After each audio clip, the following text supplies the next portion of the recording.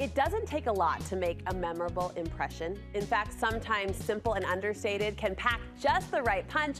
Welcome back to Studio 5. Pull out all of your small glass jars because my next guest is set to show how we can turn those humble vessels into a stunning centerpiece.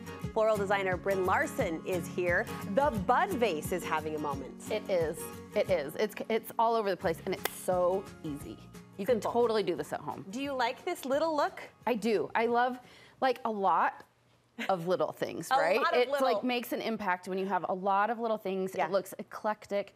Like when I have people over to my house, I love to have little things for my house built into my table. So it just looks mm. like things that I've gathered along my way yeah.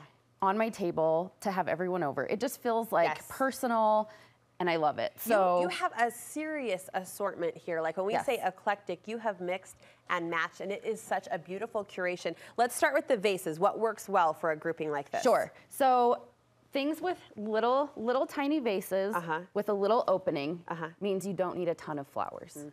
So if you're doing this at home and you don't want to spend a lot of money, find little bud vases. I like different textures, different heights that's really how you're going to start building the layers. Different colors even. Different colors, What yeah. makes these work? I mean, clearly the, the, the, clear glass is going to work with anything. Yes, and I love I love this with just like a little hint of color. Yeah. Um, kind of playing off the different colors of the flowers. Yeah. But I love that layered look with different colors of glass. You could add in, if you have little votive candles, you can add in, like, I'm gonna show us how to add some flowers to like a little votive candle. Oh. So if you have like little containers yeah. around that you wanna use. Okay. Um, you can do that. So I can show you a quick yeah. little tip that yeah. helps me a lot. These are sweet peas. These are one of my favorites. Now, they smell so good. Pause. Yes. Talk about purple. Purple. Purple is having a moment. Purple. Purple is everywhere. Purple and orange paired together. I'm seeing it everywhere in weddings. So Weddings. if you want to be on trend, a purple, purple, wedding. Can you believe it? It's not blush and bashful it's, anymore. We're, we're moving into purples and oranges purple. and peaches. Pretty. It's so pretty. Okay, so I don't know if you've ever tried to put flowers in a little vase at mm -hmm. home and it just falls out. Yes. It's really annoying. Right. So what I do is give them a little snip and then get a little hair elastic. Aha. Mm-hmm. So just put a little hair elastic around the stems. And they stay bunched. They stay bunched and then they don't fall out. The clear ones work really well too if you have a clear vase. Yeah. But you just put pop it in and then it stays bunched and it's not there falling it out all over the place. Well, what I'm realizing too looking at this is like full is what we're after. So if the size of your vase is small, if the vessel is itty bitty, as long as it's full and lush, which you just accomplished, grouping those little stems together, then it looks complete. Totally, and it's so easy. So if you're doing this at home and you don't have a lot of design, flower design experience, mm -hmm. get all of one kind of flower and bunch it in each vase. So you're not trying to arrange mm -hmm. different things. You can mm-hmm. just clump it together like this. I mean, I did that in two seconds. Yeah. just clump it. I feel like she needs to be up and, front. Absolutely. Mm -hmm. And put it together.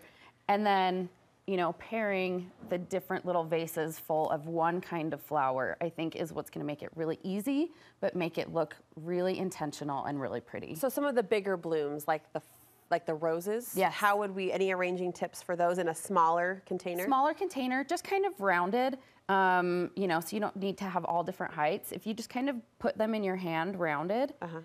and then give them a snip. If it's easier, you can definitely put like a hair elastic around them. Sure.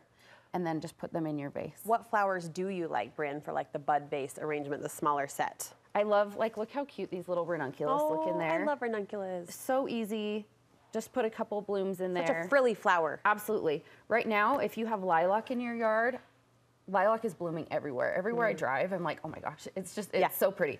So lilac, if you have the snowball viburnum, those work really well. Just go out in your yard and snip a couple things and drop them in bud vases, and it's so easy and it looks beautiful. It's such a happy touch that and the way you've curated this and put it together with kind of the chiffony table runner and the candles, talk about the overall ensemble. I mean, you talked about little touches around the house. That right. certainly works and checks a really, you know, personal box. But if you're throwing an event or a shower of some kind, how could we pull this off? Absolutely. I think layering candles creates such a beautiful atmosphere.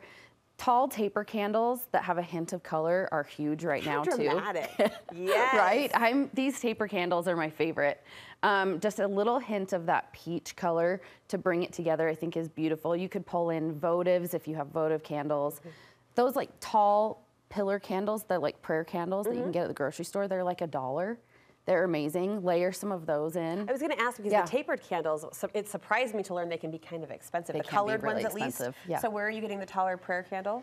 Um, they have just the tall, like in the glass prayer candles yeah. at like the grocery store. Okay. Yeah, or you could go to like the religious supply stores. They have some of those prayer candles that people like leave on, yeah. on gravesites and so things. you get the height. Mm-hmm. You get the height without the expense of the color. Yeah. yeah. because some of these can really add up. They add. I love it. Good, good for what kind of an event? A baby shower, a wedding baby shower, shower dinner. I love to have friends over in my backyard for charcuterie. Oh. And to oh. just add a couple bud vases yeah. in between your charcuterie just takes it up a whole other and level. Who needs and an it's event? So it's, easy. it's lovely living, right? Yeah, absolutely. Lovely absolutely. living. All right, I where can we go to see more of your work or to place an order for all of the fun events we have sure, coming up? Sure, you can find us at Blooms and Company either online or at our shop on 39th How many weddings are on the books right now? So many. Who even knows? I can't even think about it. But 20% of them have purple flowers. That's exactly. so interesting to I know, me. it's coming back. Great inspiration for the at-home Thank florist. You so Thank much. you.